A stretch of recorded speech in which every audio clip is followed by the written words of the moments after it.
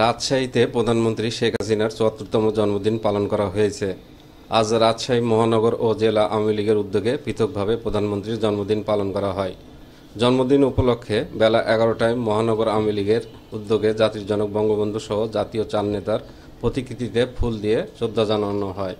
পরে মহানগর আওয়ামী লীগের কার্যালয়ে প্রধানমন্ত্রীর দীর্ঘায়ু কামনা করে দোয়া অনুষ্ঠিত হয়।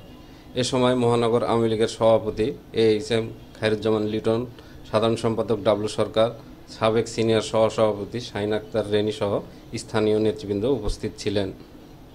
এদিকে জেলা আওয়ামী লীগের উদ্যোগে কেক কাটা অনুষ্ঠানের আয়োজন করা হয়। পরে প্রধানমন্ত্রীর দীর্ঘায়ু কামনা করে দোয়া করা হয়। এ সময় উপস্থিত ছিলেন জেলা আওয়ামী লীগের সভাপতি মেরাজউদ্দিন মোল্লা, সাধারণ সম্পাদক কাজী আব্দুল ওয়াদুদ দারা, সংরক্ষিত মহিলা আসনের এমপি আবিদা আঞ্জুম মিতা সাংগঠনিক সম্পাদক লাইবুদ্দিন লাবলু সহ স্থানীয় নেতৃবৃন্দ। এছাড়াও আওয়ামী লীগ, যুবলীগ, স্বেচ্ছাসেবক লীগ সহ অঙ্গ সহযোগী সংগঠনের পক্ষ থেকে প্রধানমন্ত্রীর জন্মদিন পালন করা হয়েছে। সেলিমউদ্দিন ডেস্ক রিপোর্ট, নবরূপ টিভির রাজশাহী।